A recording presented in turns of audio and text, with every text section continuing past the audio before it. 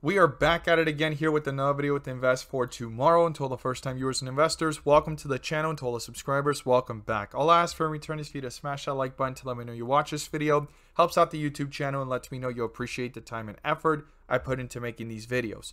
Now, in this video, we are going to discuss a stock or possibly one of the top number one stocks to possibly squeeze based off of short interest, where the stock sits, and how much potential this has to actually reverse and push the shorts turning into bulls from bears. But before we look at the chart and everything about it, I want to share with you guys the stocks I mentioned this morning over at the Discord, as well as two stocks I mentioned this weekend. One that I posted a video on that actually went up 20% plus so far. And over at the Patreon, I talked about a stock near its all time lows and it's already up 10% plus. And we're going to come right back into it to the top stock that is set to possibly explode. So the stocks I mentioned this morning turned out to give realistic expectations, 5 to 15% opportunities. They didn't break out 20% plus, which is a home run in our definition of home runs, but 5 to 15% on the day at their spikes and highest point of possibility is phenomenal. We're going to look at these stocks,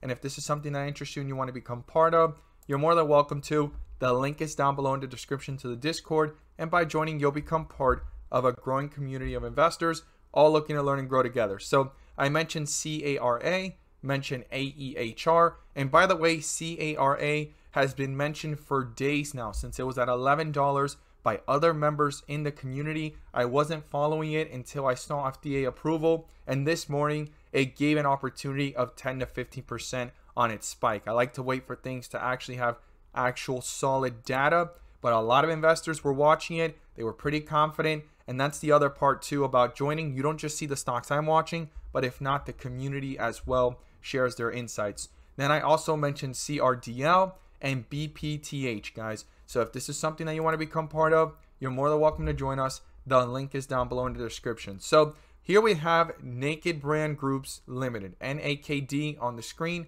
This is a stock I mentioned this weekend on August 21st. Top penny stock to watch before Monday. This penny stock can go crazy key levels watch ASAP. Now, only 600 people watched it. I hope more people start watching these and don't overlook it because this stock actually pulled back on Monday, right? Sitting sideways, hit those lows right there, and it actually has spiked up nearly 10% plus. You could see it right there. This has been a phenomenal jump all the way up to its spike of nearly 10 to 20% actually at its highest point where it's currently sitting is about 10% its highest point was nearly a home run. Now we're going to talk about another stock that I mentioned this weekend over at the Patreon, which you'll gain access to as well if you join the community. The link is down below. And here it is PSFE. It was sitting actually downwards, right? But sideways on that downward pressure. And I was looking at that support level of 806, currently sitting at 824 when I mentioned this and shared it. I go ahead and share the analysis price targets and why it is that I'm watching it. I do a brief summary on my due diligence and what I like about it. And if we look here at the chart, PSFE is on fire, guys. And I think there's more room, right? It's something to watch carefully, but this stock has gone up since I mentioned it nearly 10% plus, hitting 902, guys. Because it had a little bit of a sideways action, started to take off, and it had recent news of an acquisition and it's having a slight pullback here. So if I put 42 vision, you can actually see that this pullback seems to still have some strength. It can actually turn into weakness if it shifts from dark green with red border to red. But if it doesn't, it can start bouncing back up and you can see all the strength here since I mentioned it and how it's been reacting in just two days, right? I mentioned it on Sunday. You can see that right there on the 22nd at actually 9.53 p.m. right before, you know, the next day. And Monday morning, this stock started to take off and it's hit high so far of $9 and it could possibly continue into the end of the week. It's going to definitely be something I will be watching, but it's already up 10% plus. So we're going to jump into these charts and everything about it. But if you guys want to gain live access to these stocks and when I mention them, as well as the community itself that is growing and learning, you can become part of it too. Check out the links down below, and we look forward to having you join us.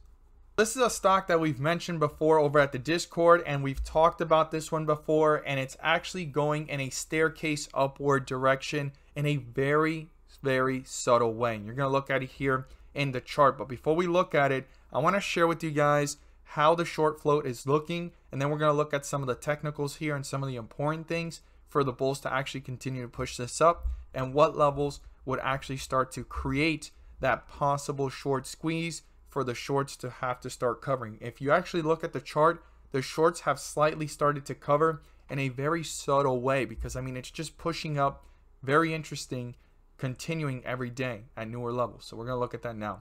So if we go ahead and look here, right? The short float interest or short interest if you call it is 25%. It's call it short float here, but it's the short interest share. So it's 25% right now. That is pretty high for a stock, okay? 20% or higher is pretty high, 30% is high, but 25%, it's not that far from 30 and it's not that far from 20, but it's in that range that it's high, okay? So 25% is actually an increase of what we've seen before. This was actually a little bit lower, closer to 22, 23.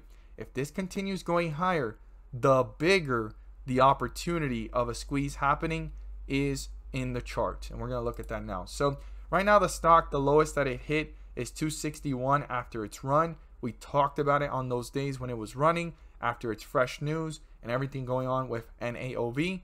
Pulled back down, lowest point 261. If it doesn't retest that and it stays above that, there's some strength.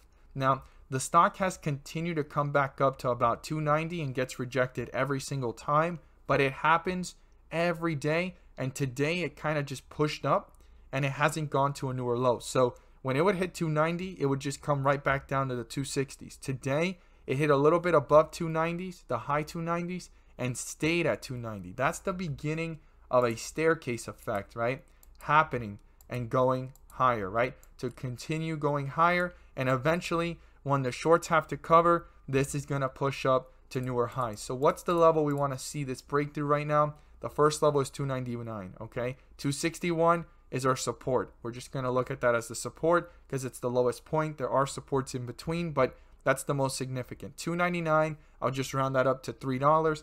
That needs to be broken through. And if that can be broken through, the next point of reference is 315. And for the shorts to possibly actually start showing a significant amount in the charts, they need to break through 315 and get up here to 350 or beyond the bulls. And if the bulls can do that, the shorts may eventually have to start covering, pushing this up to newer highs and new resistance levels that we have not seen. And the 52 week range was touched back here at this highest peak of 419. So that will be very interesting. If a short squeeze does happen, will it get back towards those numbers or will it break right through it? I look forward to seeing your thoughts down below. And as always, thank you guys so much for watching and let's make some money.